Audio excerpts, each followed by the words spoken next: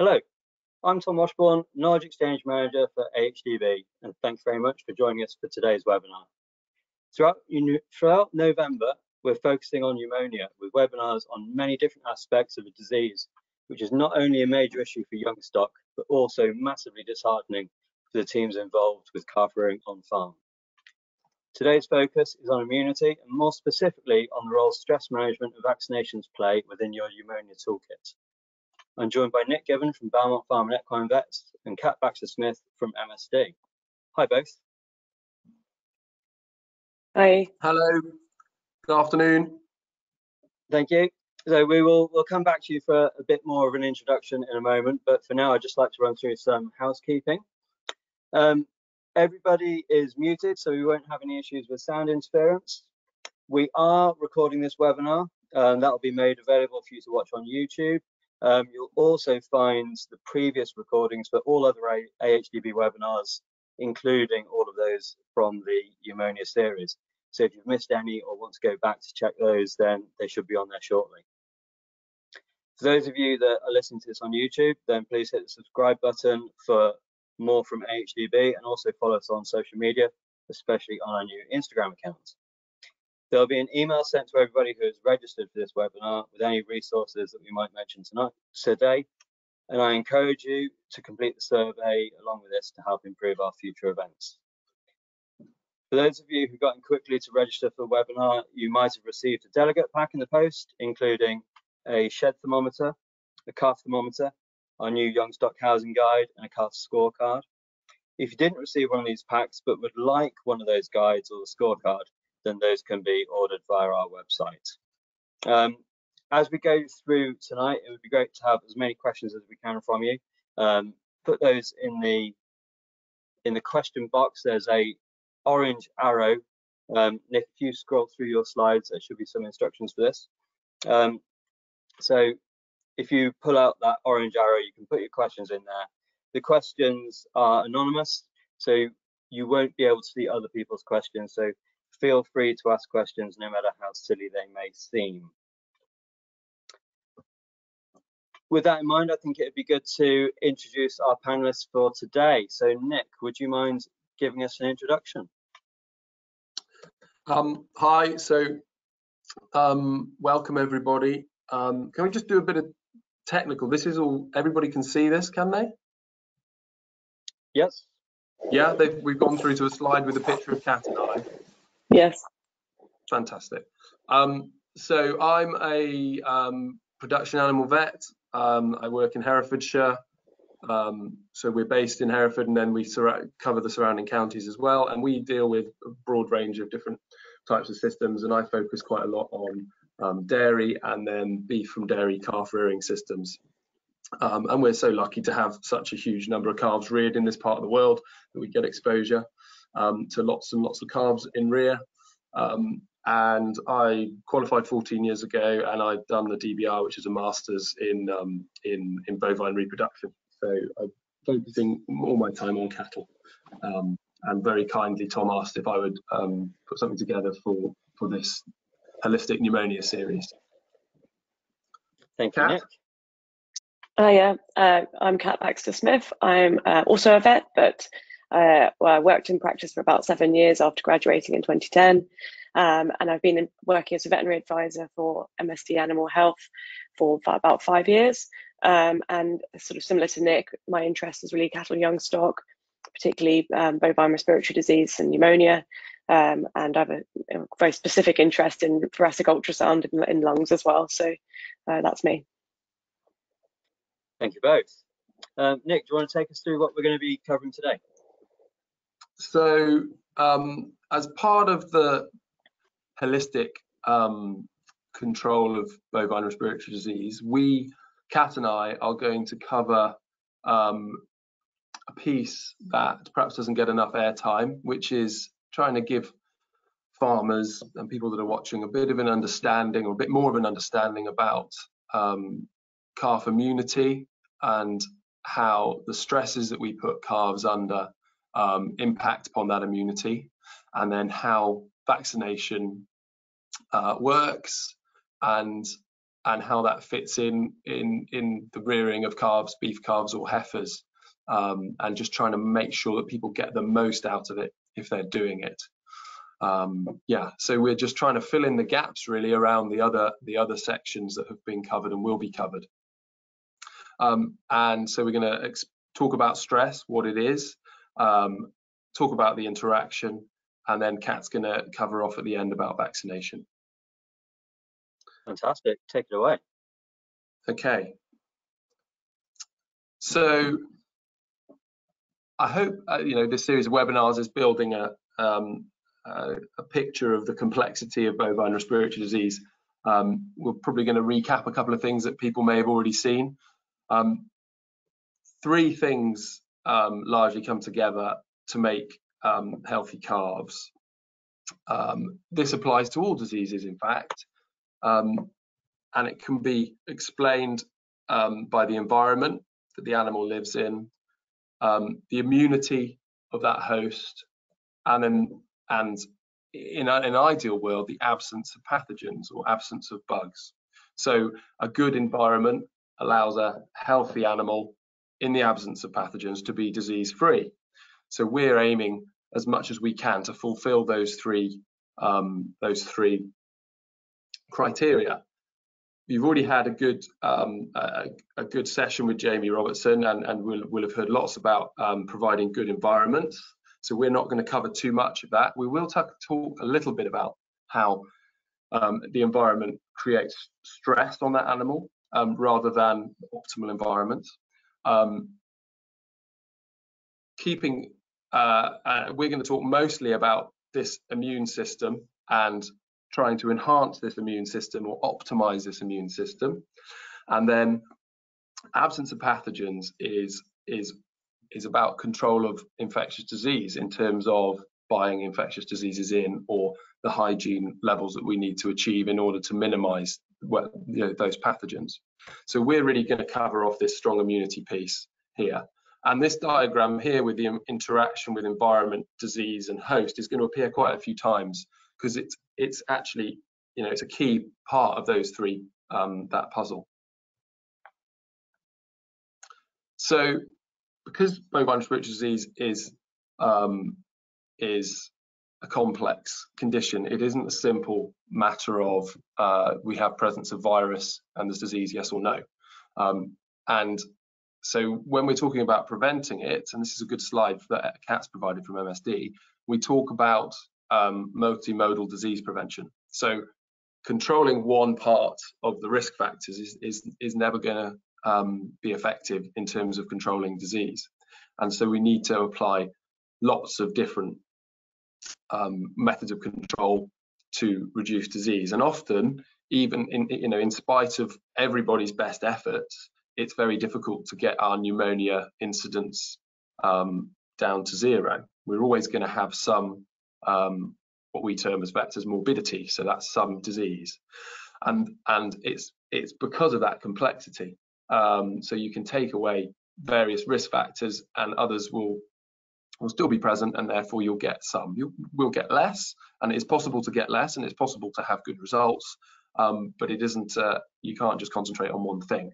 And this diagram shows how we're trying to boost innate immunity, we're trying to boost colostrum and potentially provide um, immunity through vaccination on the top of the line. And then we're also, at the same time, our aims are to improve hygiene, reduce uh, stocking density, reduce concurrent disease and improve ventilation. So it's, it's, it's multifaceted in terms of control. And then that line across the middle is basically showing, showing how disease, you know, resistance to disease. Um, so that's why that's how we have to think about bovine respiratory disease, and that's why immunity and um, and our piece today is is an important part of the um, building blocks. So uh, a bit of a background to the immune system, which lots of you will be um, familiar with, I'm sure. Um, the immune system, very simply, is split, um, and this is an oversimplification, but it's, it's quite useful for, for farmers really to think about this because it, it, refers to how we choose to vaccinate. So the immune system is split um, into um, two very basic levels at the beginning. So that's adaptive immunity, um, which is immune memory, and then innate immunity. And that innate immunity, if we think about that first, is is simple barriers. It's chemicals um, that are that are produced by the body to act against invaders, and it's cells that sit um, like guards, basically waiting to respond. And these these cells, these chemicals, and these barriers are very non-specific, so they defend the body against attack without necessarily knowing what they're attacking against. Now that innate immune system is really, really important for little calves. Um, and those little calves are born with, uh, as, as those little calves are born with relatively little immunity and they are um, dependent upon picking up immunity in colostrum. And after all the years of our knowledge and understanding of colostrum, colostrum is still vitally important in terms of providing that calf with a strong immune system. Um, and so, or, or the ability to mount a strong immune response. So colostrum um, is a, a, way of providing the calf with um, not only some of the, the things that help the innate immune response, but also um, th things that help the adaptive immune response. So if we think about that innate immune response as physical barriers and, and frontline soldiers, the adaptive immune response is um, is much more about memory. So once the body has um, seen that immune response, that innate immune system feeds back and antibodies are created. And we've all heard about antibodies. Antibodies are the immune immune system's way of recording, memorizing, and then hopefully preventing the same attack from happening again.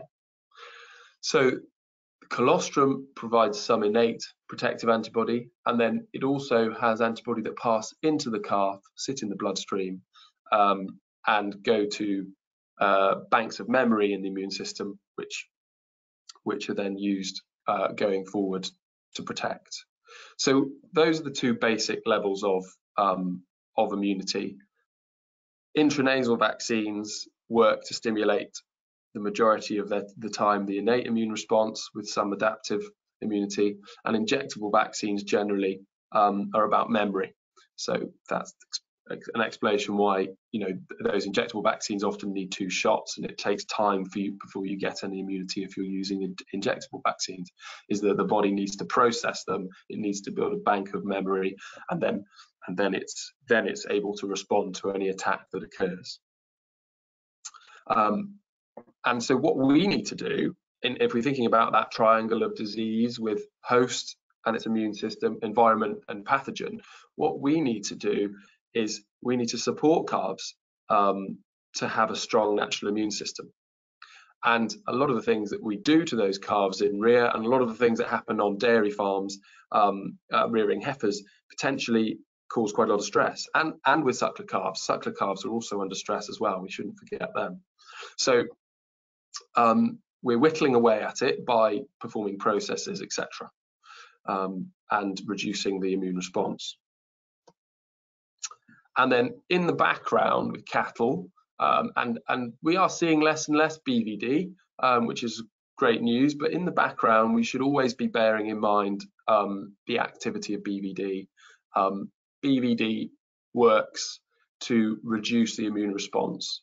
So it it's a very sneaky sort of virus that that can hide away in that PI animal, and its and its basis of its success are around its ability to do immune modulation and immune and um, suppressing immune response. So if you have BVD in your calf rearing system or your heifer rearing system, then that will be reducing the immune responses of those animals to run of the mill everyday diseases and making them worse.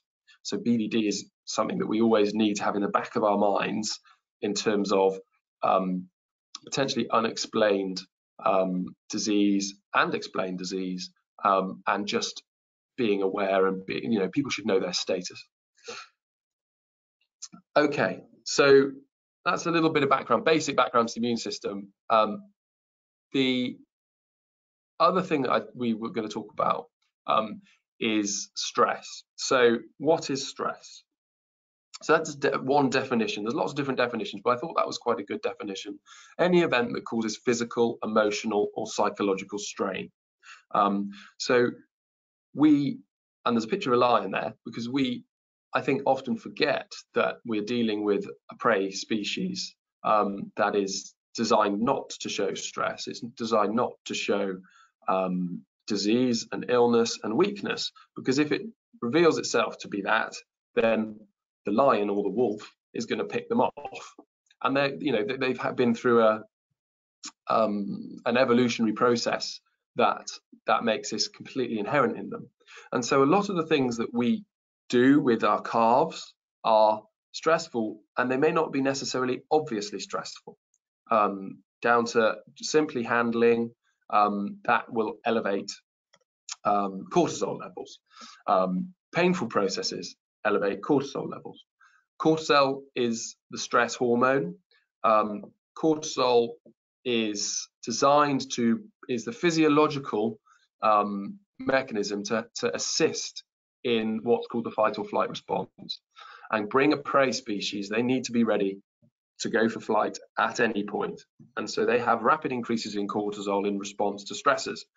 And cortisol does things like increase blood glucose, so it makes energy available to the animal to, to then run as fast as it can, as an example. So that's the point of cortisol. Um, and cortisol has the negative effect of reducing the immune response.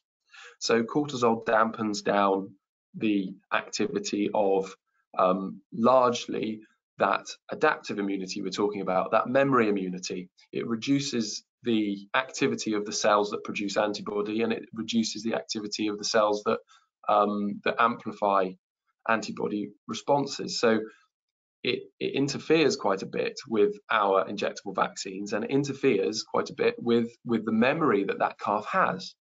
And in really stressful situations, you see outbreaks of, of neonatal disease or diseases really that calves should have already had and got over, they will come back. Um, so we, you know, those situations, we really look hard at you know, well, why are we having outbreaks of RSV in six-month-old dairy dairy calves? There must be some sort of stressor on them for them to have not achieved immunity and for this this condition to have come back. Um, Nick, so can that's I, what. Can I ask Nick? Yeah. So we know that um, cortisol will reduce the calf's immune response.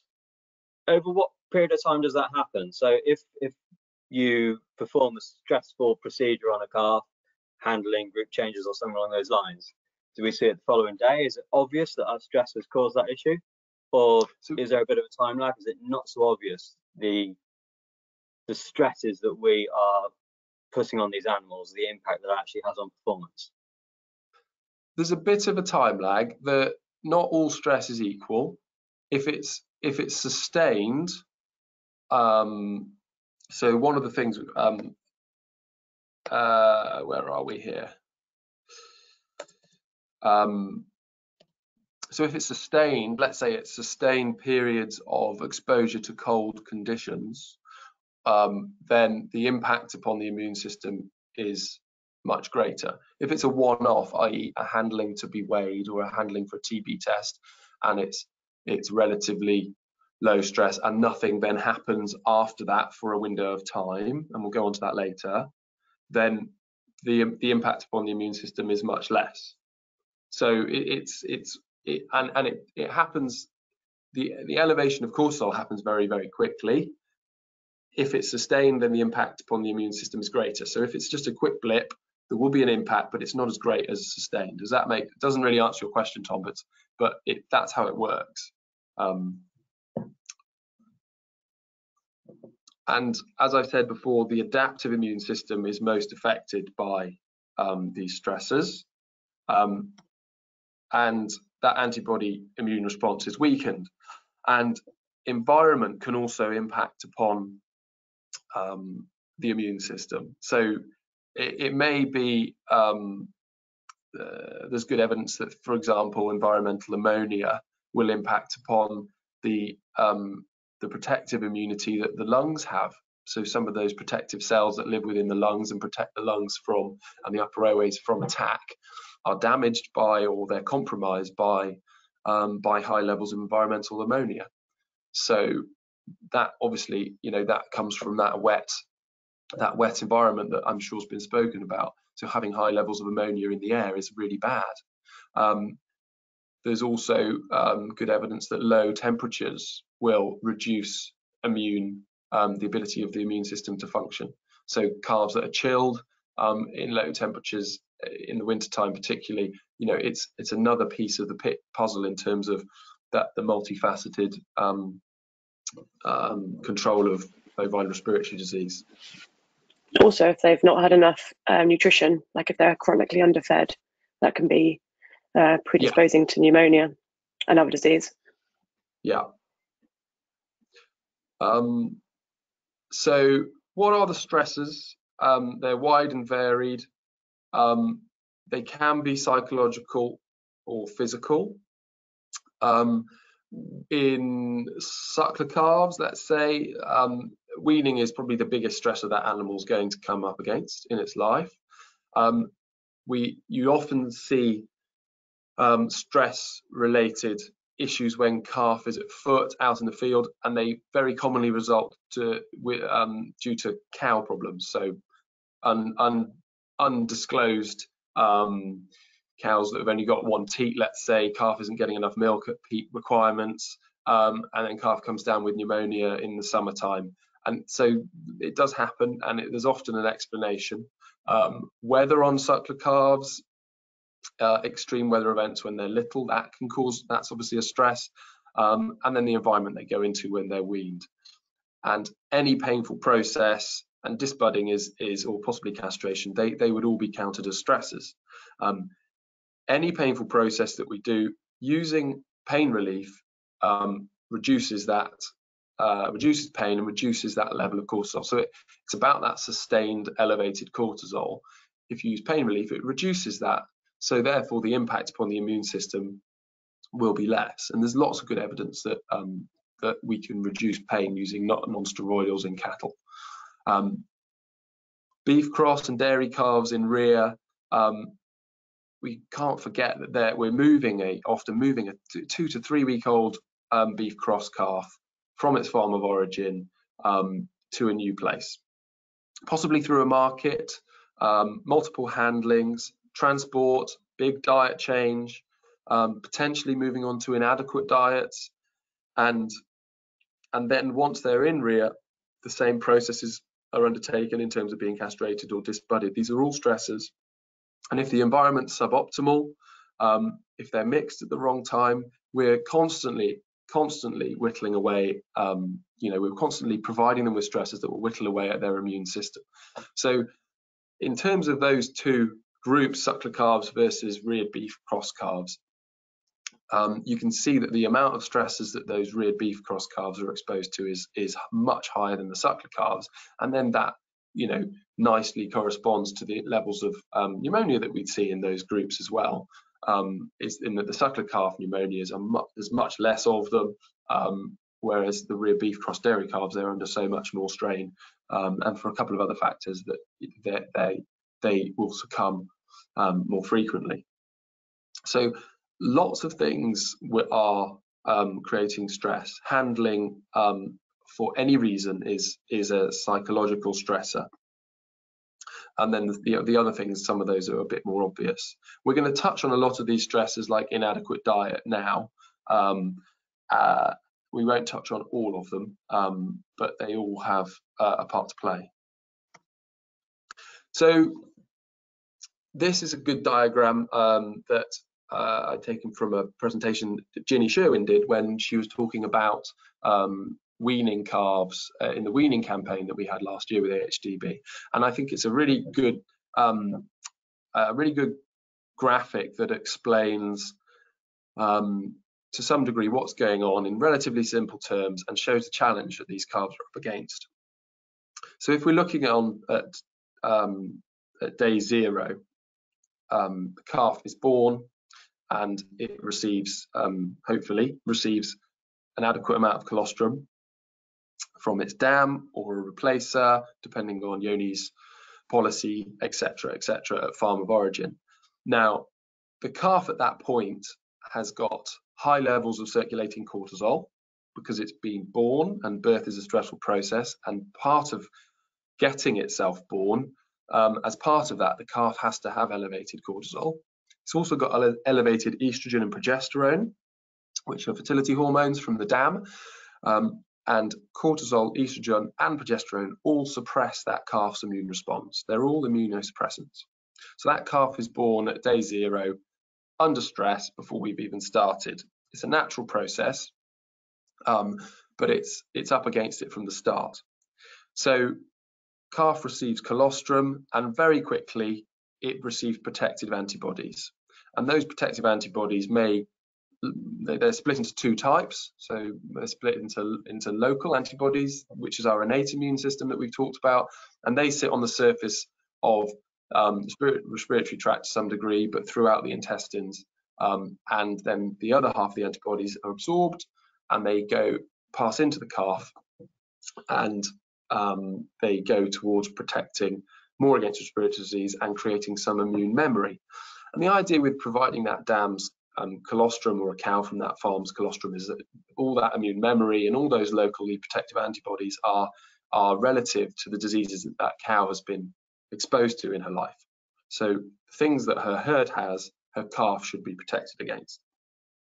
Now those maternal antibodies um, start to wane relatively quickly and they start to drop off um, until uh, fairly steadily um, until around two to three weeks uh, about a week old, when all that cortisol and estrogen and progesterone starts to disappear, the calf starts to generate its own antibodies. Its immune system wakes up, um, and under the safe protection of the maternal antibodies, it starts to get exposed to the things in its environment, be that E. coli or potentially be that the viruses, the pneumonia viruses.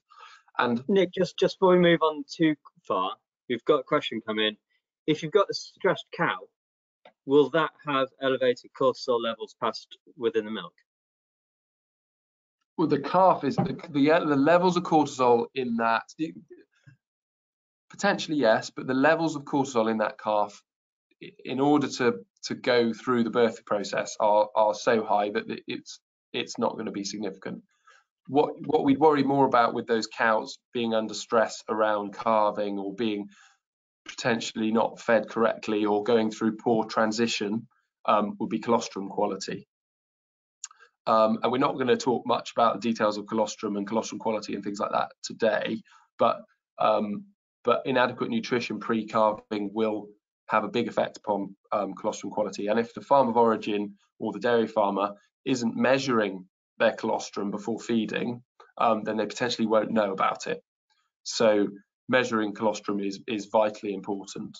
Um, so that uh, so yeah, the maternal antibodies fall off, calf antibodies start to rise. You imagine that calf received inadequate levels of antibodies, so poor quality colostrum, then the cover that's given to that animal around day 7 to 14 um, may not be sufficient to allow that calf to develop its immune response without having disease. And so we have this window of time where that little star is in the middle of that graphic, where we've got a bit of a high risk period where that calf's immune system is really on the floor.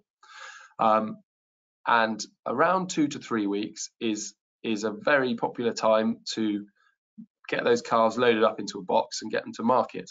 Um, because they're settled on the milk and they're starting to shine and they're doing really well and they're looking great. And and this is is, is a really challenging time to be starting moving calves around. It's optimum time for price for the buyer and it's optimum time for the person that's um, that's produced the calf because they then haven't got to feed it when it's consuming more. So the economics of it is three weeks is, is a good place um, whereas for the calf itself it's potentially um, opening that calf up to, to challenges. Um, and then as that calf grows, uh, it develops its immune response further, and then by that you know eight week period, the calf's um, generally pretty robust, should have seen most of the problems that it's going to um, come up against on its farm of origin and should be able to stand most attacks. Um, along the top of the graphic, you've got enteric disease and respiratory disease, and, and those lines show the risk periods. Um, and it's also that's explained by the protective immunity that we give. So a lot of the maternal, um, the local antibody given with um, colostrum act locally against enteric disease. So it, it's designed to cover that first seven day period. Um, and then the, the absorbed antibody that's given with colostrum covers that respiratory disease period. So um, there is method in the madness of colostrum feeding, and it is a vitally, still a vitally important part of um, calf immunity. So, Nick, one question has yeah. come in based on on that time frame. So, uh, what age should you move calves from individual pens into automatic calf feeders in group pens? I move them around day 10 stroke 12 as their immunity is heading to its lowest. Uh, so a move for um, a, a, baby calf is considerably less stressful than it is when that calf is more mature. Um, so moving them younger is is a positive thing. Moving them around that 14 to 21 day window um, is would I would try and avoid that if possible, but moving them a little bit younger, so seven days of age, um, that calf then is drinking well. We it's almost pretty much outside of its um, window for most diseases except for rotavirus, um, and is a is a sensible time to do it. The key time to do it is making sure that you don't do it 21 days, uh, you know, do it at least 21 days before you wean them. Um, that's that's quite a key window of time, um, and that was talked about quite a bit in that weaning campaign. Um, I think there's also a there is a little bit of a caveat in that if you're um, if you're monitoring colostrum, feeding plenty of it, seeing relatively neonat little neonatal disease, as in first seven to ten days of life, and you've got all those things in in place, then then moving, you know, mixing them earlier is absolutely fine. If you if you can't get in control of those things, then you're going to you'd be better off to leave those calves a little bit longer to get them out of that window of rotavirus, because otherwise you potentially spread it from calf to calf. Now, calf to calf spread is um, does happen, but most rotavirus is picked up when that calf is very, very small in the calving pen from, from cow feces in the calving pen, and then due to poor colostrum feeding practices, creates disease. Um, so yeah, there is a bit of a farm specific factor in the answer to that question. Maybe trying um, to reduce the number of times you move them as well. So you know some farms where they you know move them from one pen to another pen to another pen, and actually if you can try and streamline that and only move them once at the most or twice if you have to, that that does seem to reduce the stress as well. Yeah, absolutely. Um, and then, so now underneath some arrows have appeared, um, or some lightning bolts. Um, and these are just examples of um, the sort of processes that calves are going through. It's um, these things don't have to be done at these inter these days or anything like that. But it's just a, it's just starting, getting you guys to think about how how what you're doing on farm relates to this immune system and, and how and when to do things. Um, I think every time you move them, um, that's a psychological stressor. So mixing of them. The stressor is greater when they're bigger. Um, so we'll talk a little bit about handling later, um, but um, and talk a bit about um, a lady called Temple Grandin that's done some work with AHDB. But she she describes what's called this flight zone. Um, baby calves flight zone is very small. You can get very close to a baby calf before it will um, before it will move away from you. Whereas calves that are sort of two weeks plus are often quite flighty and take uh, can be more difficult to handle in the pen, and that's because they're um, aware they're vulnerable. But again, coming back to that fight or flight response, they're they are now quicker, and therefore they are um, more able to run away from the wolf, the lion, or the farmer. Um, so the um, so every time we move them, they have this remixing and rejigging of their hierarchy, and and and strange animals enter into their flight zone, and so so moving them less, as Kat said, is a positive thing because it's a psychological stress. And movement is is potentially from calving pen into an individual pen, that is stressful. Um, movement from that individual pen into a group, that is stressful. Um, movement in that group from one environment to another, it's a change of environment, that is stressful. Um, other psychological weanings other psychological um, stressors uh, would be things like uh, weaning, so starting weaning, finishing weaning, um, the calf going through a period of hunger, uh, which if we could optimize it, wouldn't have that much of a period of hunger, um, but they go through a period of hunger on the whole, and that creates a psychological stress. And, and potentially, if that weaning shock is is too much, um, it could also create a calorie deficit, which is another form of stress on the animal. And then there's those common, um, you know, physical um, painful stresses, um, birth itself, as we've alluded to, and then things like disbudding, castration. So, and it's very hard to tell to produce a gold standard for this in terms of every farm's um, how to approach things because farm facilities are different, pen sizes are different. So if if you if you don't have the facilities to do one move, it, you know you have to think about how you're going to fit that move in in the time scales here. If you've got um, potentially lots of little things and lots of challenges during that pre-weaning period, actually it may be best to push your pre-weaning, your weaning, your milk phase and delay weaning a couple of weeks so that you can fit one of your extra moves in. That, as I said, that is all very far. Um, commingling or mixing um, is best, as, as somebody asked the question, is, is best done whilst calves are smaller um, and keep it away from um, keep it away from weaning. And then as a rough rule of thumb, we're talking about those spikes in cortisol and the impact on the immune system. If if you keep stresses um, to to uh, only doing one every seven days, then that will help.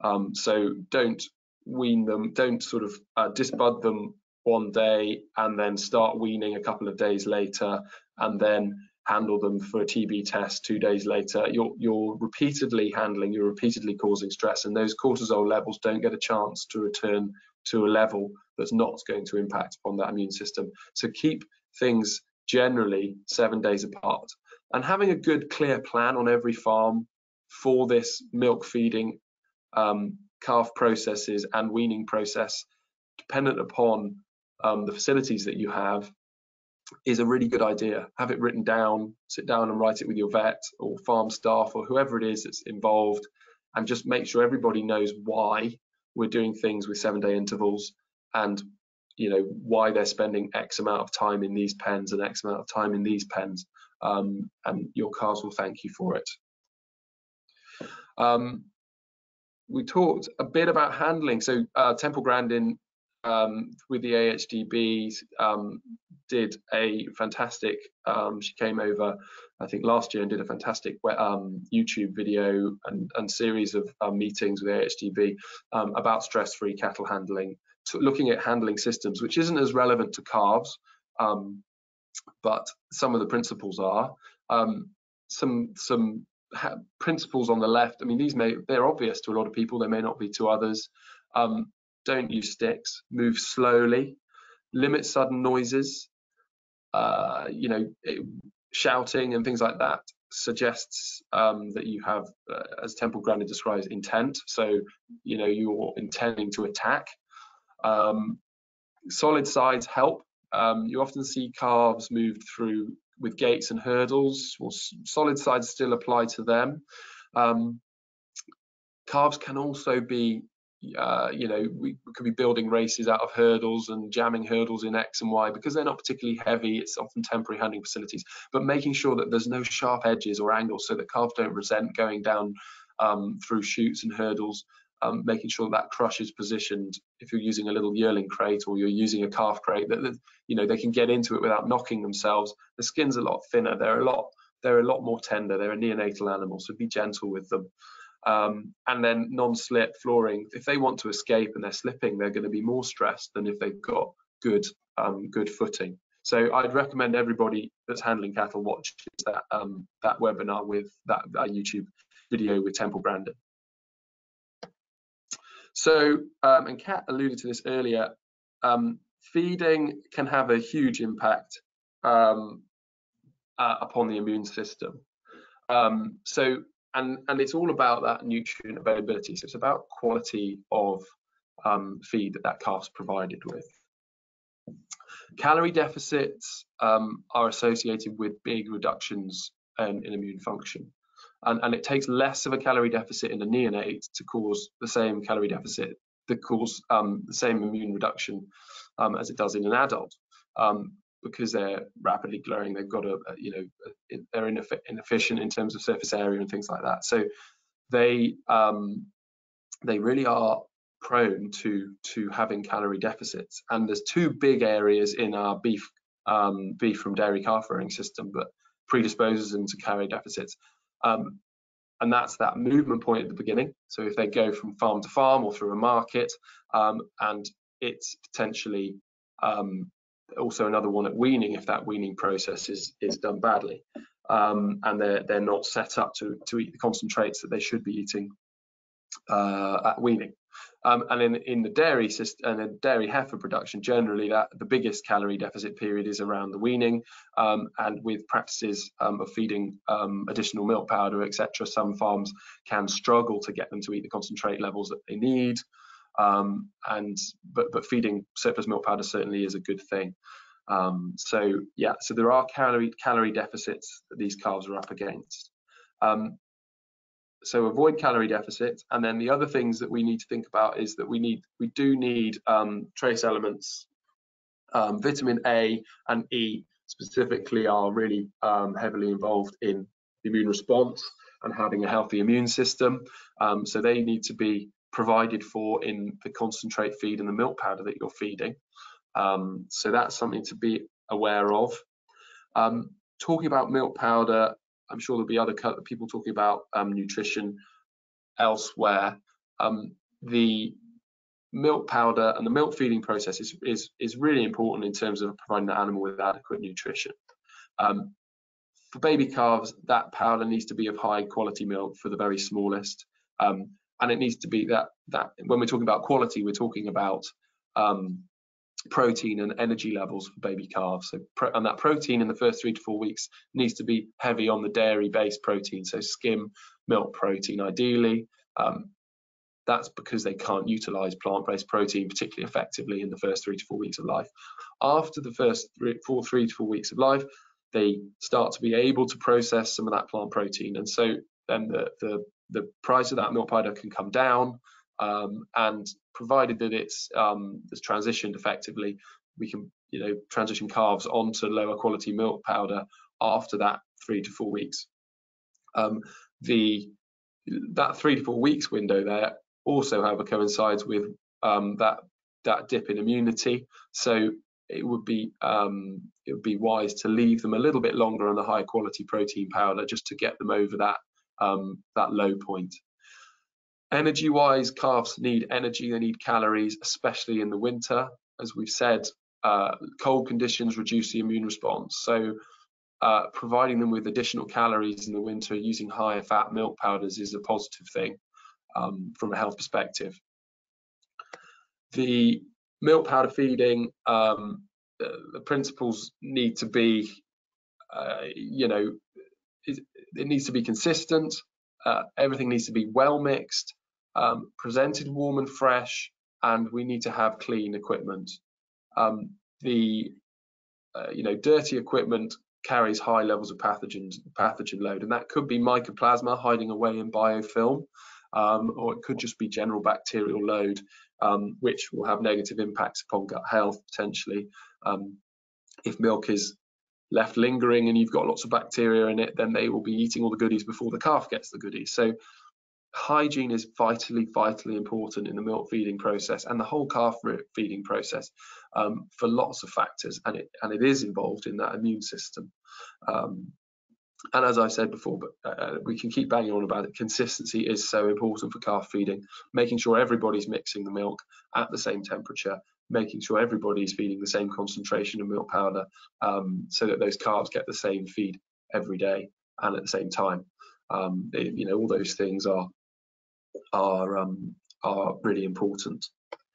Um, there may be a place um, in the future for additional amino acids to be added to milk powders.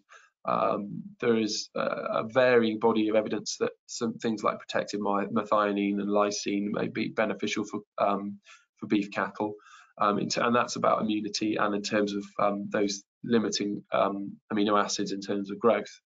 So there might be in the future that you get supplementary amino acids in some of your milk powders. Um, but I just thought I'd put that in as a as another point really.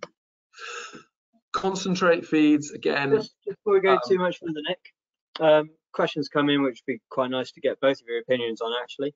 Um, what are your opinions on adding a perhaps previously sick calf, which is now better, to an established group of calves of similar ages?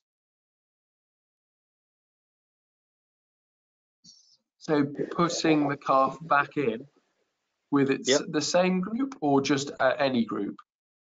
So I, I'm reading this as an animal which has been sick and put into isolation and now appears better. Um, and if you haven't got your, if you haven't got any other options, what is your opinion on putting that previously sick and now better calf into a group of healthy calves? I'd rather they didn't put it into a group of calves that are younger than it, because that yeah. seems to be a common practice. Um, yeah. If they're going to put it back into any group, it should probably go back into the original group that it was in, rather than going into a, a group of younger calves, because then it's going to likely to infect all of them with whatever it has. So um, yeah, it's not an ideal practice, but I'd rather they did that. it doesn't match in. Sorry, you're and, patchy it, has got to go somewhere, hasn't it? We can't have yeah. um, you know lines of calves living in, in individual isolation because they've been sick, and you know it's it's. So I'd agree with Kat. It, it, it's got to be. It can't go in with younger calves because most of these um, the common uh, viruses, as an example, will have some degree of carrier state and some degree of shedding, and after the disease, and so you know it presents itself as uh, as as presenting a risk um, to younger calves. Um, so older calves are a, a better bet, or and the same social group if possible. And, and don't isolate calves where they can't see others. So if you've got a calf that's unwell, if ideally you need to be able to see other calves um, whilst it's getting to TLC in a pen. Um, and and also another point actually with isolating calves is the facilities for that calf need to be as good, if not better, so it needs to have a nice bed. It needs access to feed and water. It can't just be a sort of uh, a second, an afterthought, um, because we're not going to get that healthy immune response we need for it to get over disease and, and, and carry on growing. Um, so concentrate feeding will also have an impact upon um, the immune status of the calf. Um, again, it does. It needs to be high quality feed. We're we are feeding a neonatal animal that ultimately should um, still be consuming big volumes of um, a cow's milk, and and it's although we are trying our very best to convert them from being a, a milk drinking, um, essentially a monogastric animal, so like a like similar to a pig, to, into into a ruminant, um, and we're and we're rushing that process. Um, whilst we're doing that, we need to make sure that, that, that they're provided with high quality protein and um, high quality sources of energy. So that milk powder needs to be high in starch. Um, starch is is um, generally so wheat is, is, is, a good example um, produces a lot of propionate in the rumen and propionate is um, volatile fatty acid that that creates um, rumen development so high levels of propionate um, result in, in, in nicely developed rumen surfaces, and then and then the animal is able to ruminate a lot better. If we're feeding lower quality starch sources, we don't get as much propionate. Or if we're and if we're feeding, you know, if we've got diets that are over dependent upon protein um, on forage rather than um, rather than starchy feeds, then we don't get enough um, rumen development. The other thing that's important is the quality of the protein um, these these calves haven't got a functioning rumen and they can't effectively digest rumen degradable protein sources very effectively. So you need to feed high quality protein um, that's got um, you know uh, good levels of bypass and high quality bypass protein and the soya is is really the go-to in that respect which is obviously a challenge in terms of um, feeding soya but it is it is a very suitable protein source for little calves um, and ultimately if you're going out you know buying buying feeds to, to, to, feed to calves you want to get bang for your buck so you know if you're feeding a, a an 18 percent um, to a baby calf, you want as much of that protein in the calf as possible. And if it can't digest it, it comes out the other end and potentially causes scour on the way. So it then compromises that calf's ability to absorb, potentially causes dehydration, um, and your um, valuable 18% nut is largely in the straw. So at any point, you know, if there was one point in this animal's life to focus upon feeding the right um, right protein in terms of nitrogen balance, the baby calf is is a really good place to think about that. Um, yeah, and as I've alluded to, better quality starter will grow better rumens, um, and then so they'll be weaned in, in a much better state. And this this photograph probably been seen before, and if, if people watch the AHDB calf um, weaning campaign last year, you, you would have seen these. Um, these are the differences in between um, the types of diet that are being fed and the quality of rumen surface. And you want this this gut diagram on the right with the milk and grain diet is what we need and it's what we're aiming for. Um, whereas with hay in the middle, we haven't had enough propionate, it's high fiber, and we haven't had enough that of that um, irritation and, and, stimulation of the rumen lining that's required to develop that rumen lining. Um, target concentrates at weaning for an 80 kilo calf. It's a little bit of sums. I mean, most people um, wouldn't be achieving what's required. Um, so a lot of people might achieve a kilo, maybe two kilos. The um, the amount that's needed for a calf that's on six liters of milk before weaning is actually to replace that those six liters of milk um, allowing for consumption of concentrate um, uh, when they've started as well of, of, a kilo, of half a kilo, um, is actually two and a half kilos of concentrate. So they need to be eating two and a half kilos of concentrate per head on the day that the milk is taken away for them to have um, to have minimal calorie deficit. Um, and two and a half kilos of concentrates for an 80 kilo calf is quite a lot of feed, and very people, very few people achieve it and that's just that's purely on the maths of the amount of ME that's provided by a kilo of concentrate versus the amount of ME that's provided by um, two liters of milk. Um, so I would say the take home from that is is weigh some weigh some calf cake at weaning and see if we can avoid those um, the, that calorie deficit at that critical point. Okay, um, so I just want to quickly summarise before I pass over to Kat. Um, so lots of things can cause stress. Don't underestimate um, what the things that we're doing to calves. Think about when we're doing them in terms of your facilities. Um, and then if you are doing things like disbudding, give pain relief. Um, following the seven day rule, so try to spread them out in, in a way that, that fits.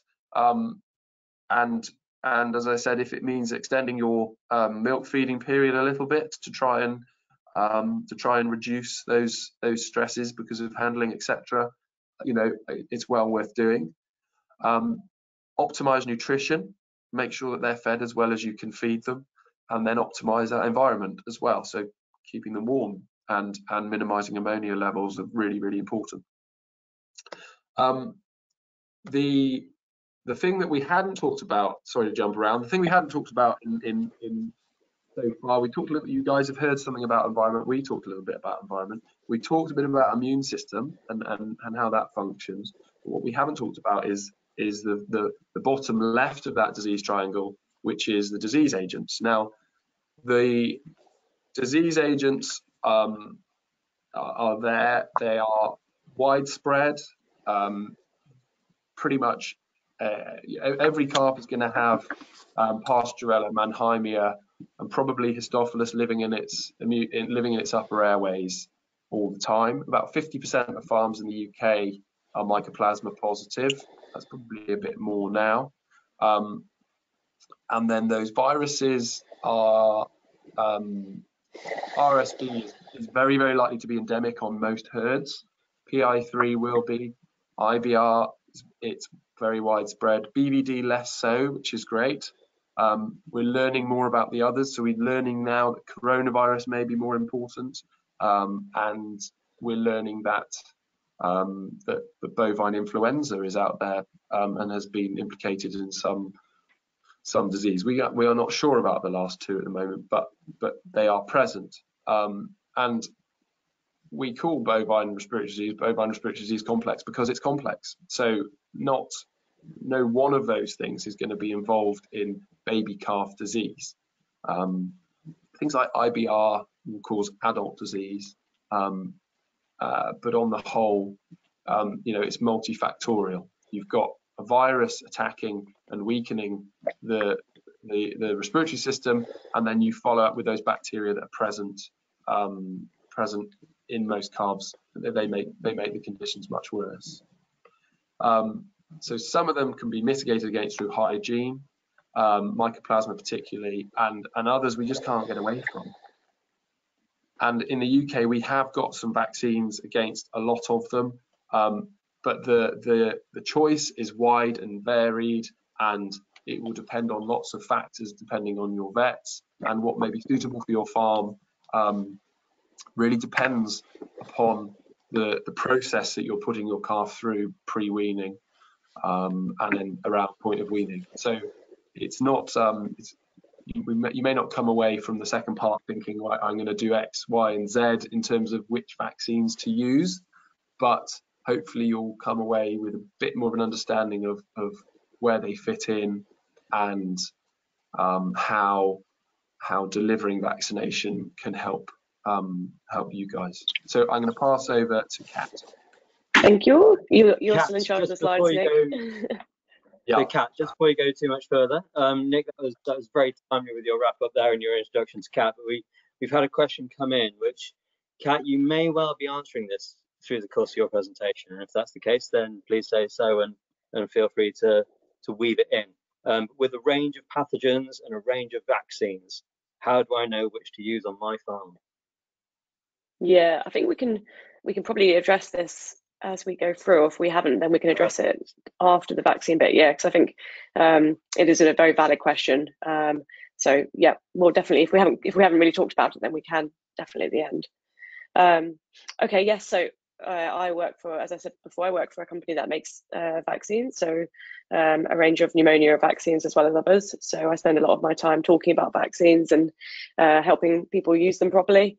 And so some of the things I'm going to talk about are basically uh, what we how we vaccinate, how it works, um, and how to get the best use of the vaccines that we are using, um, particularly in the in the case of pneumonia. So uh, this might be basic for some, but it's always good to remind ourselves uh, how vaccines work. The idea is that they are um, a small dose of the, the, the, virus or bacteria, depending on what you want to vaccinate against, that's generally inactivated or um, rendered in a way so much that it cannot cause disease, but it does expose the animal's uh, immune system to that infection so that it can then learn to uh, fight it off the next time it's exposed to the actual disease. So that animal will produce antibodies. They will then float around um, in, in, its body and remember that, that that pathogen next time it sees it, and, and then can um, can fight off that disease before it actually causes uh, issues and problems the, the, important thing is that we want to uh, always do the vaccine before we think that the animal is going to be exposed to the issue. So in the case of young calves, uh, as young as possible, because we know that, uh, like Nick said, they've got that particular window of risk when they're a couple of weeks old, and that's when they're most likely to get problems. So if we can vaccinate them either really young in life or even in the case of vaccinating the mums, so they get the benefit through the colostrum. Um, we want to get that protection on as, as early as possible in young calves. Um, and then if you have animals where you're seeing disease uh, slightly later. So, like Nick also, also mentioned, around weaning or after weaning or at that three month period, you would want to get your um, protection in before that. And then again, like Nick said, uh, we cannot ignore the good colostrum management and feeding. You know, uh, the vaccine can be as good as, as good as it can be, but no vaccine is good enough to compensate for, for poor management. So if you're going to spend money on vaccination, you want to make sure you're doing everything else uh, as well as you can do as well. Hopefully Nick will pass on the slide, thank you. Um, so I think this one needs a bit of pressing to get it to, to go up. There we go. This is a, a fun thing that my colleague made. Uh, I quite like it just because it does show us how um, the two things work differently. So on the top uh, line, we have the vaccination. Um, and then on the bottom, we have uh, antibiotics. So we, you know, probably 10 or 15 years ago, we were a lot more reliant and antibiotics were used a lot more freely uh, than they are, or, you know, than they are now because we know now, we now know better uh, about the risk of resistance to antibiotics. We're trying to reduce our use of antibiotics. Um, and so it's not really acceptable to be just blanket treating large groups of animals with um, antibiotic products. So in terms of antibiotics, they um, are, you know, they, the animal gets infected, you jab them with the antibiotics, they can kill that bacteria, they don't work against viruses, but they don't give that animal any immune memory. So the animal is susceptible to being infected again. But the idea with vaccination uh, is that you jab the animal before the infection, before the risk. Um, it um, ensures that animal then has an immune system that's activated and ready. And so the next time it is exposed to that disease, the immune system is prepared and can fight off that infection. And that, you know, if you keep giving boosters, that will ensure that that keeps can, keeps working. So it, it's better for the animal because it doesn't need to get sick uh, and it's, it is better for you for you long term uh, rather than having to, to use antibiotics to fight against disease. And you know we will always need antibiotics uh, because there will always be animals that get sick. But if we can reserve them for when they're actually needed um, rather than using them as preventative, that is ideal.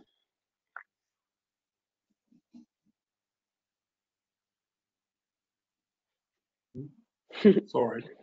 My assistant is failing in his duties. maybe there we go.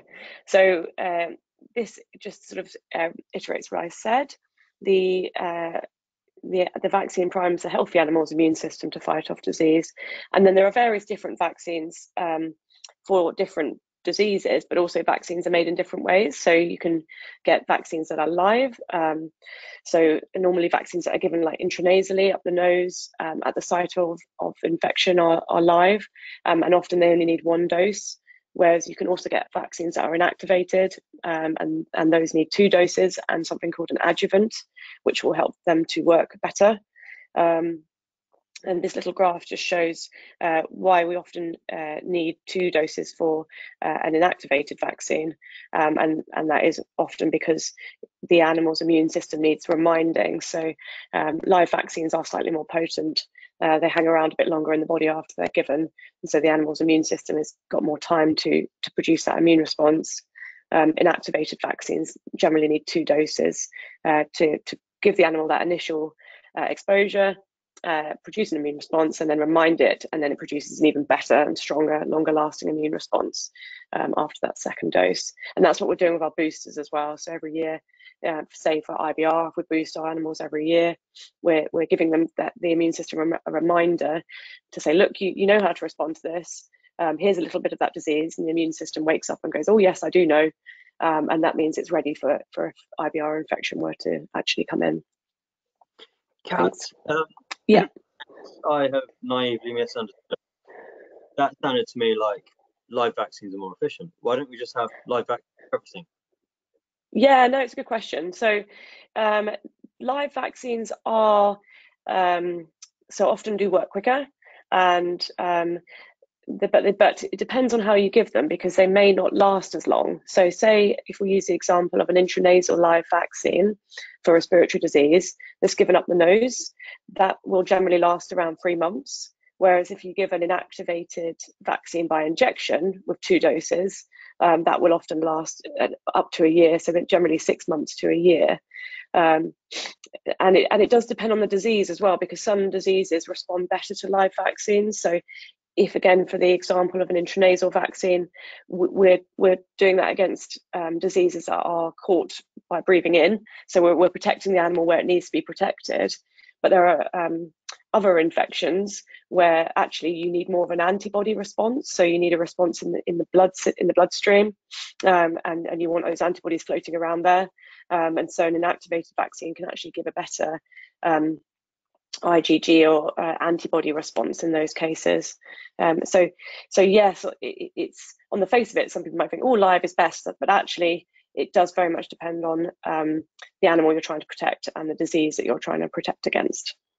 And also, inactivated vaccines can sometimes be perceived as being safer, saying if you're using them in pregnancy, etc. Um, that's not always the case, but um, certainly inactivated vaccines um, may be slightly safer in certain circumstances. Cool. Um, on to the next slide. So um, let's look at calf vaccination. Um, what we do know is actually um, and we always bang on about colostrum we have already, but calves that have received um, good level or good quality colostrum in the first day of life actually respond better to vaccines that are then given to them. So um, yes, colostrum's got all the benefits that we've already talked about, but also if, if you're vaccinating that animal, um, you're going to get more more for your money in terms of your vaccination if it's had decent colostrum. Um, so it, it's stimulating that animal's immune system already to be able to respond better um, up to six to 10 months of age. Uh, early life intranasal vaccination, this is becoming very popular now, um, uh, although it's been around for a while and we have more options.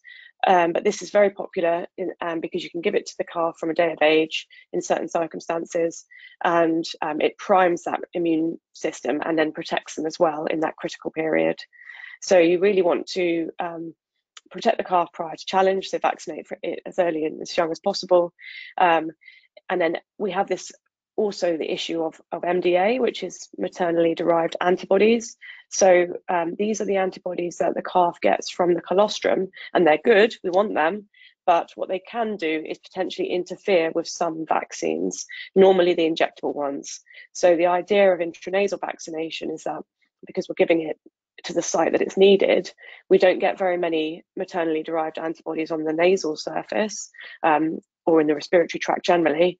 So we're, we're bypassing that um, the risk of, of MDA interference. So this is why we can give intranasal vaccines to calves much younger than injectable vaccines.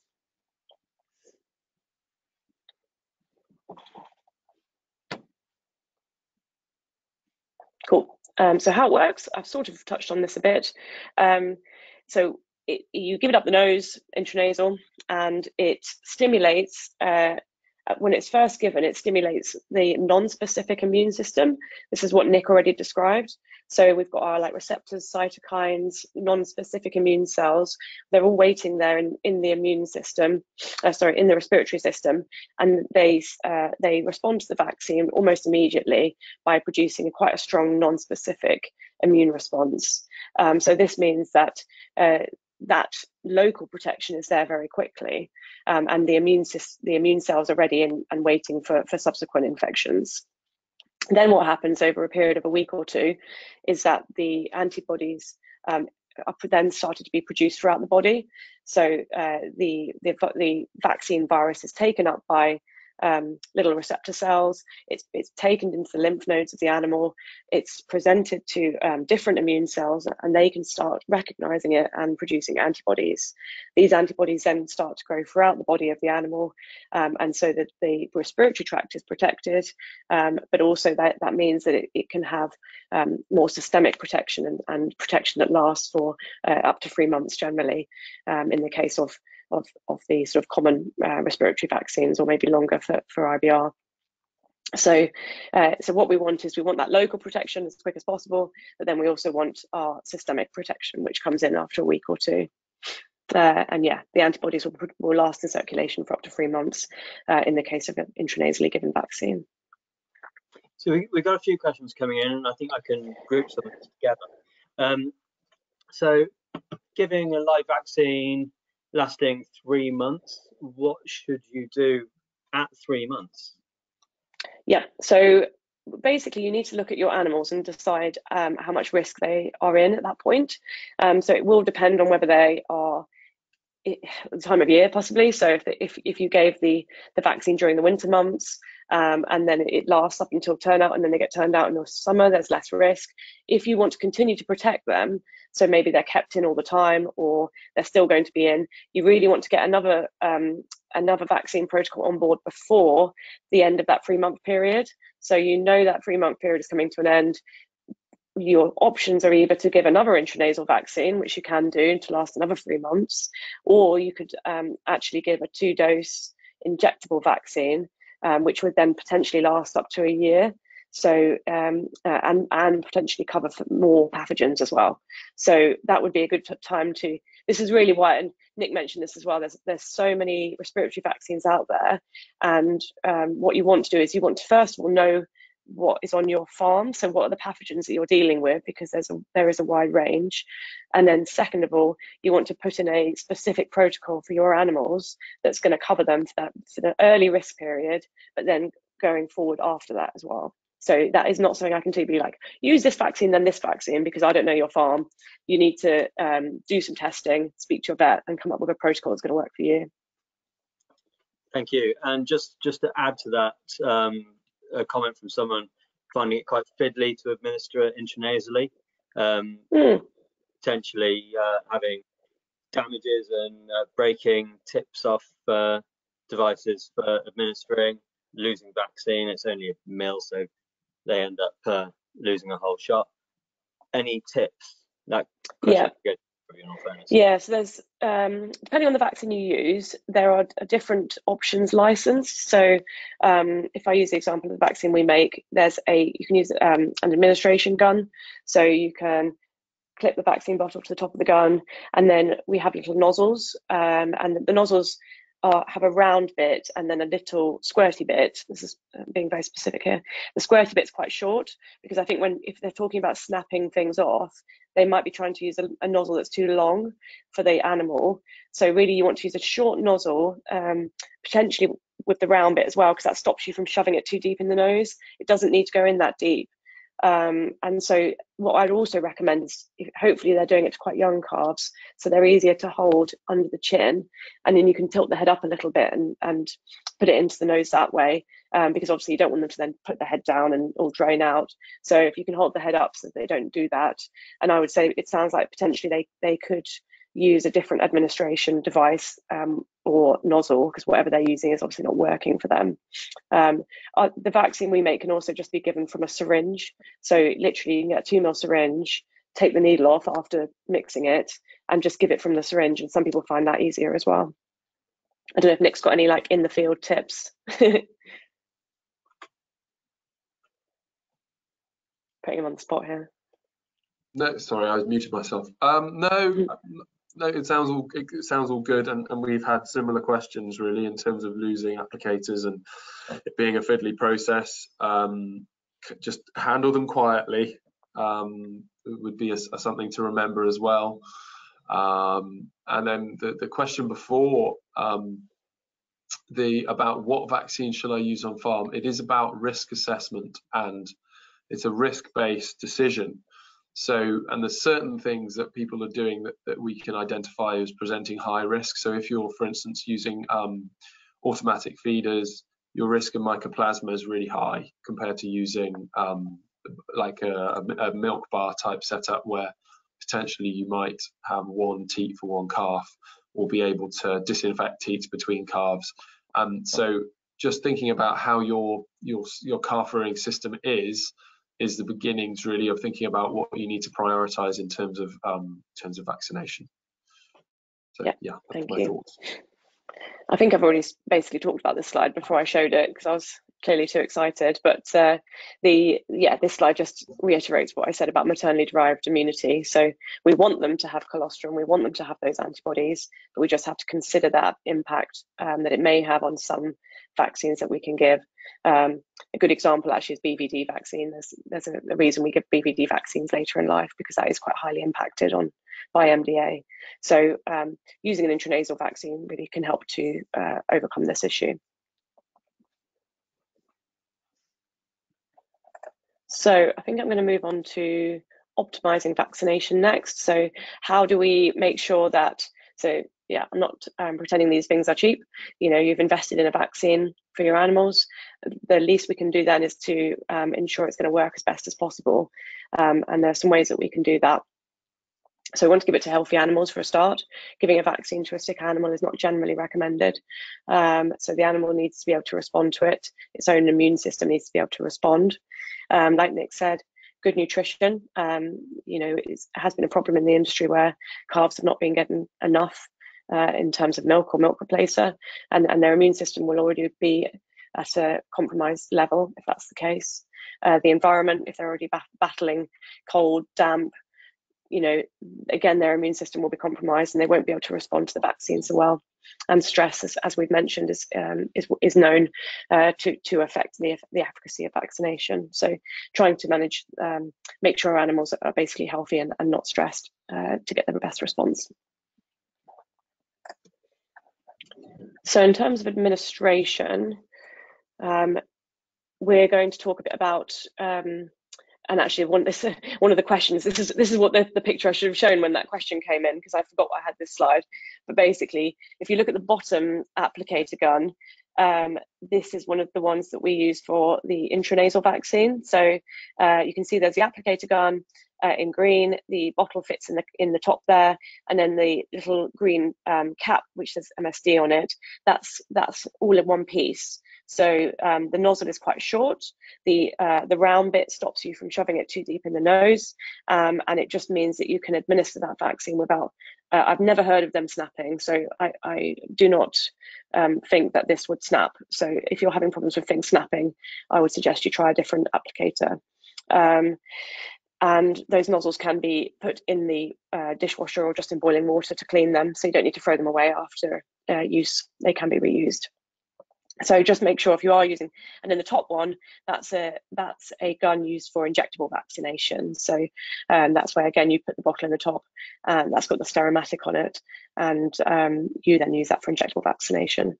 So if you're going to use these just make sure you keep them clean dry in good working order um, you'd be amazed the number of people who spend thousands of pounds or hundreds of pounds on a vaccine and they're using the same dirty applicator that they've used for, for 10 years that's never been cleaned. So, you know, if, you, if you're going to be putting a, a sterile vaccine into the animal, you want to make sure that your applicator is also clean and sterile um, to, to, to make sure that's going to work as best as possible. Uh, and it shouldn't need to say to read the leaflet, but I'm sure many people don't read the leaflet, um, particularly if you've done it before. But sometimes things can change. Uh, different uh, vaccines can be given in different ways, and so always do read the leaflet because it does, uh, you know, it's there to tell you how to do it. Um, and and better to, to read it and spend five minutes than having to revaccinate the whole herd of animals because you've done something wrong and and please mix the pellet with the liquid. don't, don't inject yes. the liquid and throw the pellet oh God, in the bin. That, that, that has happened. Yes, yeah. it has. I mean, we've had some people ringing us up being like, "Oh, I injected them all the liquid. Now I have all the pellets. Do you have some more liquid ones on their own so I can do it all again?" so yeah, please don't do that. the pellet is actually the vaccine. The liquid is just water, basically. So that's not going to do anything. um, yeah, and then um, on the next slide, we've got uh, just some pictures of fridges. So uh, I can't claim uh, responsibility for this study, but one of my colleagues actually went around in the southwest and um, took photos and measured the temperatures over a six-month period of um, a wide range of farm fridges that were on actual farms where vaccines were stored in them. So these are two of the two of the, the offenders, I should say. Um, but uh, in that study, he basically found that none of the fridges that he measured over a period of six months maintained the correct temperature during the whole six month period. And some of the fridges actually were not at the correct temperature any of the time. Um, so vaccines do need to be stored between generally between two and eight degrees centigrade. Um, if they are frozen, they will be inactivated because the proteins will denature. If they are if they get hot, the same thing will happen. Um, so if they're not in the fridge, say if you need to take them somewhere to vaccinate the animals, recommend putting them in a cool box, particularly if it's a hot day. I know we're not having that problem at the moment, but in the summer we will do. Um, and uh, yeah, if we just look at these pictures of the fridges, so the one on the left, you can see that probably is from uh, about the 1970s and um, was not working as a fridge. It was it was just a cupboard basically. So uh, and you can see there are vaccines in that fridge. The one on the right, there's a massive block of ice at the top and that was um, the vaccines are right below it. If you can, if you've got good eyesight, you can see them. Uh, so those were frozen, and they wouldn't have um, done any good to anyone. So these are this is really something I think to um, go and you know go and have a look at your own farm fridge. Buy a um, a temperature monitor if you don't have one. They're pretty cheap from Amazon. Um, ensure that nobody plugs and unplugs the fridge. If you must, you can take all of your food out of your um, home fridge and put the vaccines in there because they're worth more than your groceries. cool. Um, Oh yeah, and this is just the next slide. It's just um, the uh, one of the examples of the fridges that was the worst example, I'll say, but one of the examples of the of the fridges that was um, monitored during the study. So uh, no fridge maintained the correct temperature. 59% of fridges recorded temperatures over 8 degrees centigrade, 53 recorded temperatures under 2 degrees centigrade, 41% recorded temperatures under um, freezing, so they would have frozen their vaccines. So yeah, it's quite an eye-opening um, bit of work here. And this graph on the right basically just shows the temp temperature of the fridge compared to the temperature of the ambient um, of the environment. So um, what we're seeing here is that the fridge is the same temperature as the environment. So the fridge is basically just a cupboard. It's not doing anything. So that's my fridges rant. Um, and I think I'm coming to the end of my bit. So yeah, um, in summary, uh, I think this is maybe Nick's slide. do you want to talk about yes, this one, Nick? It is. Sorry. I was I was going to happily chat on, but no, please do, please do. Uh, their calves are under many challenges to their immune status during the rearing process, so we've been through quite a few of them. Not in as much detail as I'm sure we could go into, but we've only got limited time. Um, certainly, nutrition and, and environment need to be optimised. I think we can go on about this um, uh, for, for, for longer and longer. And there are more webinars on this in this series about these, which is really good. Um, vaccination works, thanks Nick, that's, that's good to know, and uh, has a place in improving immune status, uh, and many options are available. So uh, yeah, as much as I'd like to say come and use ours, uh, particularly for, for pneumonia, I know that the most important thing is to find the right vaccine for your farm.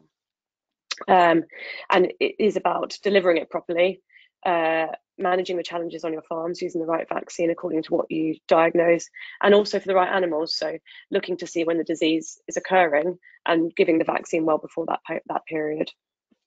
But yeah i might pass back to nick if he's got any other comments on that. Yeah no that was that was it really. To summarize um yeah and and then really opening us up for any questions that that, that are remaining tom yeah, and, and there, there definitely are some questions remaining. So um, I'm going to put those to you now, and I don't mind if either or both of you answer those questions.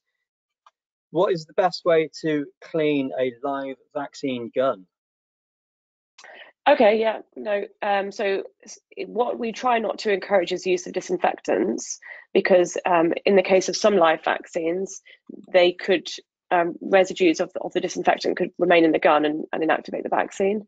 So uh, I we often say just to immerse the gun in um, hot warm water with um, you can use fairy liquid say um, that's fine um, and operate it to, to pass the water through and then rinse it really well. So that, that's that's that's perfectly acceptable way of cleaning it. Um, and is there a way of, of cleaning between animals without affecting the vaccine? Um, so there, yes, you can use the Sterimatic um, if you can get hold of it. So that that's basically a cap which has got a bit of a disinfectant in it. But unfortunately, they uh, um, took it off the market earlier this year, uh, and it it may or may not come back. It's unfortunately not made by us, so we don't have control over that. Um, you do want to change your needle regularly. So um, if the needle is becoming blunt or broken or bent, um, you definitely want to change it regularly. you, can just wipe the needle, um, and I, I'm I'm a sort of I think if the animals aren't outwardly dirty, you shouldn't need to do that. So um, I think you just have to be, as long as you're vaccinating in a, in a kind of careful way, and you're not you're not leaving the needle sitting on the side and gathering dust and things like that. Um, you shouldn't need to do that. Um, some people do. I know wipe it with either cotton wool or cotton wool soaked in spirit. Um, I don't know if Nick has got an opinion on that one. I, I, I, think the main thing is just not to vaccinate animals that are really dirty and to make sure the needle is, is changed regularly. Those would be my main um, points on, on needles. Yeah, same really. And whether that the, that person was asking a question, maybe alluding to any chemicals that might interfere with live vaccines.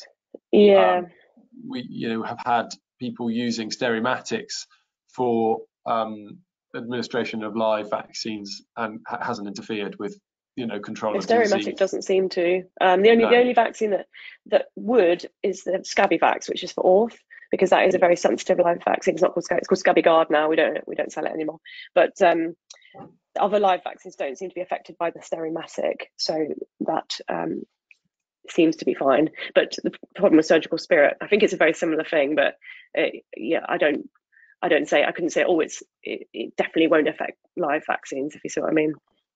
No. And we we are running dangerously close to running out of time, but I think some of these questions mm. are really good. I'm gonna I'm gonna take a liberty and, and go over ever so slightly if that's okay.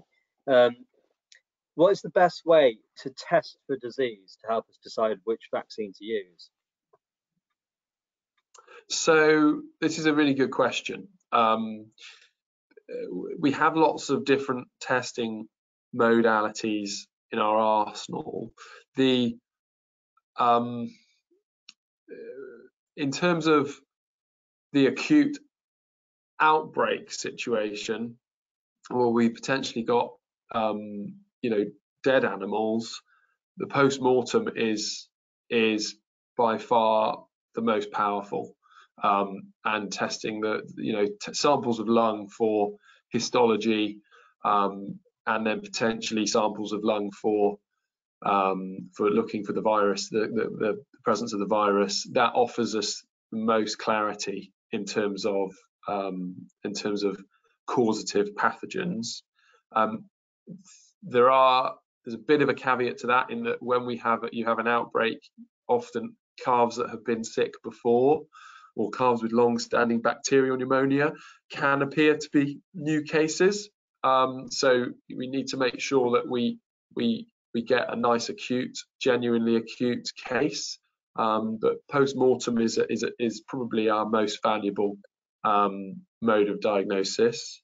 The other things that we have um, we have uh, blood testing, so we can do a blood test looking for um, an increase in antibody response, and that's quite a good indicator of, of the various things that have been involved. Um, and we also have um, uh, swabs, so pharynge, deep, deep pharyngeal swabs, which we are guarded, so they go through the nose and then they go into the back, basically to the back of the calf's mouth to take the sample. And those are another way of um, of looking for pathogens there is a, uh, you do have to be careful of how you interpret those swabs. Um, you will often find um, a lot of the, the common pathogens in terms of the bacteria will be in the back of the calf's mouth.